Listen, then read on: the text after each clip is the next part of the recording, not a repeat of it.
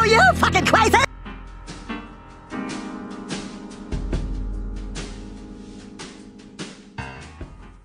These are what you uh, term as uh, alien greys. Oh my god!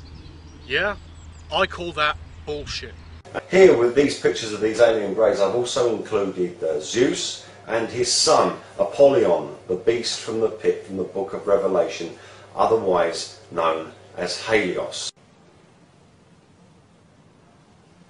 Right. You know, it's all very easy to harp on about particular theories about the devil, the Bible, the book of Revelations, Zeus, Helios, otherwise known as Apollyon. But where are the genuine facts? When you have theories and you select the facts to fill a theory, it's not really factual, truthful information, is it? Now, just to explain to you uh, why I placed their pictures there is because they are the alien greys. That is why you fail. Here's the thing, Gorilla 199. They're not fucking aliens. Let me show you what I mean. Always with you what cannot be done. Hear you nothing that I say. You must unlearn what you have learned. Alright, I'll give it a try. No. Try not. Do. Or do not. There is no try. This here is a picture of um, a demon grey drawn by someone called Aleister Crowley, who was an, an infamous Satanist, Magic. a very sick individual. Stop whining. Um, he was also a Freemason You serious? and a witch. All of these things are 100% confirmed.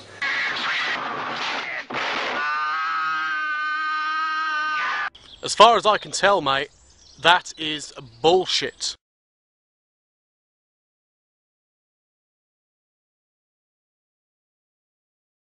His uh, face is also featured on, on the Beatles album Sgt. Pepper's Lonely Hearts Club Band. There's a bald guy in the background there. Get on with it. Yes, get on with it! Um, so, can you see any familiarity in, in that face at all? How about if we turn that face upside down just to have a quick look? Well, here it is, upside down, and you can kind of make out a kind of face in there, sort of a nose there and perhaps a moustache there, but that's not really sufficient evidence. You're an idiot. Aleister Crowley was a Freemason, that's true. But he was not a Satanist, as far as we know. He may have been. There are many rumours about him. Rumours set up by Christian people who feared new ideas.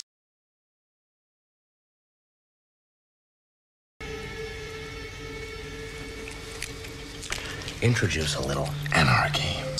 He was heavily involved in the occult, the esoteric, the mystical of the time, which was becoming increasingly popular. But there is no evidence, really, to say he was a evil Satanist. There are some stories, some fictions, but really, that is usually, at least as far as I can tell from my own research, Christian bullshit. He was not evil, he was a seeker of truth, a mystic. Not much more, really.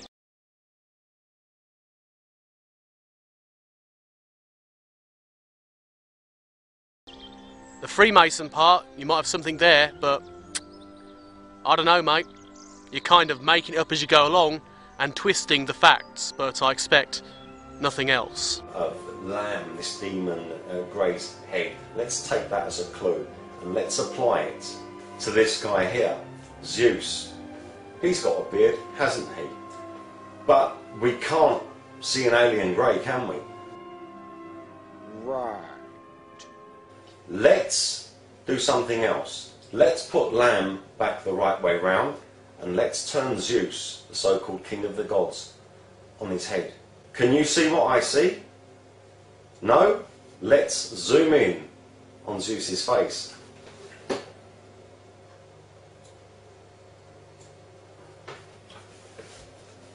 Can you see it now? Let's zoom in a bit further. How about now? How about new?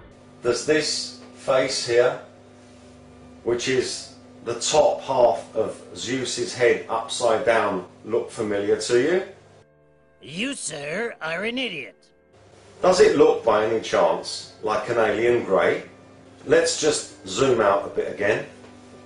Do you see the alien grey face there? Those are your alien greys. That's not a face, dumbass. Our souls are not eternal.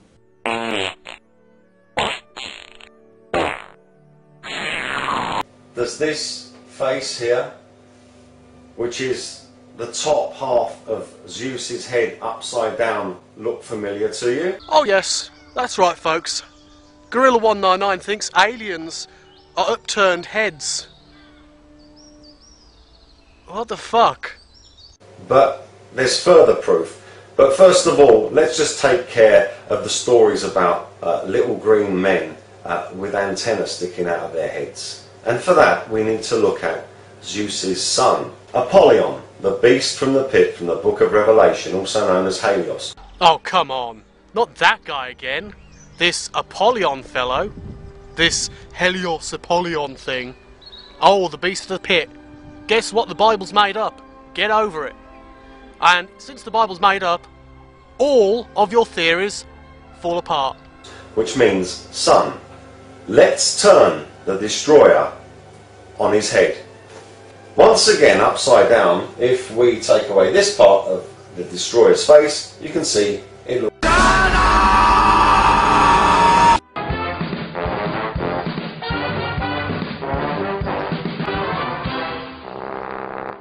That's right. Your head is like an alien too. So are you an alien demon? I don't think so. Was Zeus? Well, Zeus was a mythical character. Was Apollyon or Helios or any of these characters? Well, they're myths. So, really, you could put anyone's head upside down and say, "Oh, I found an alien head." If we take away this part of the destroyer's face, you can see it looks like an alien grey. Um, no, it don't, mate. Don't work, mate. No, doesn't work. What about the antenna? His pigtails. What about the green skin? Well, if you come from Greece um, or Italy, around that area, uh, you will have skin the same colour as mine. And my skin colour is called olive. There's only one problem though. Olive is green. You just take the olive, you give it a little tap with the side of a knife. These beautiful orange slices with a black olive puree, and a little fennel, a little thyme, a little salt. Oh, olive skinned, as in green, as in olive skins, the skins of olives. Do you forget about there's black and green olives? But ignore that. Ignore that. What about the fact they call it olive skinned because of the oil? The most abundant thing spread around the ancient world was the oil. They used it for bread, they used it for even washing, like with the Greeks and Romans. So, olive skinned meant golden skinned, not green skinned. That's bullshit. Plus, another point the hair on those statues, like uh, ponytails, pigtails, and such, it's not antennae. It's hair. I'm not green, am I? Right. So, God called Satan a serpent, and many serpents are green. Green snakes. Green fucking snakes. Oh, yes, that's proof. The not so green skinned, olive skinned people are somehow considered to be the, uh, the green skinned reptilians, and not all snakes have green skin. So you're kind of talking shit, aren't you? And maybe that's where that colour came from. But also remember that witches are also depicted as green. Here is the path to the dark side. Fear leads to anger. Anger leads to hate. Hate leads to suffering. So according to you, green is bad.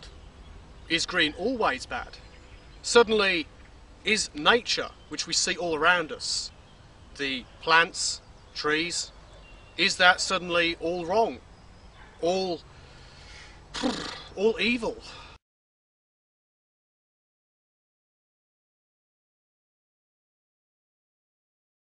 And of course, we've got stories of the Green Giant.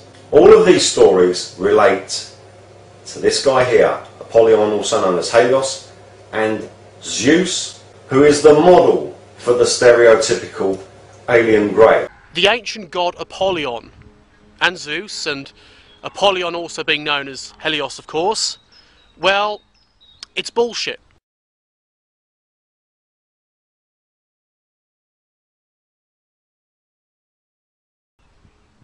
Yes, they knew them as that, as you know your God as being God.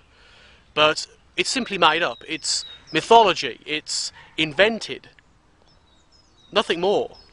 There is no truth, there is no proof. There is simply a level of mythology which many cultures shared and plagiarized off each other. It takes women 20 minutes to reach orgasm.